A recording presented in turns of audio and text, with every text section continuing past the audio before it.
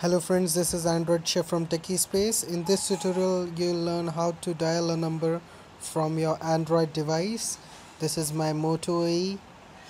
I'll just click on the central button which is menu bar.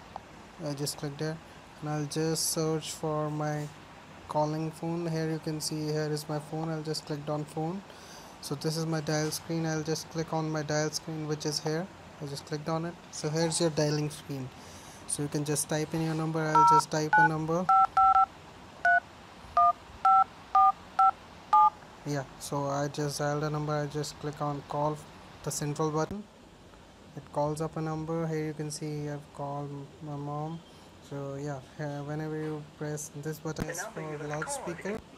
And this is for keypad again. If you wish to press some more keys and this the mute button you can mute your call or you can pause your call or or you can either add up contacts to your call as a conferencing call.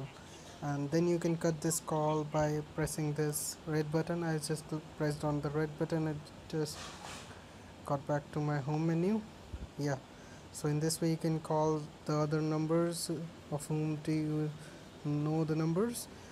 That's it in this video. Thank you for watching this video. You you can like and subscribe this video and subscribe to my channel or you can visit our website www.techyspaace.com for more android tutorials and like us on facebook and twitter. Thank you for watching this video. Thank you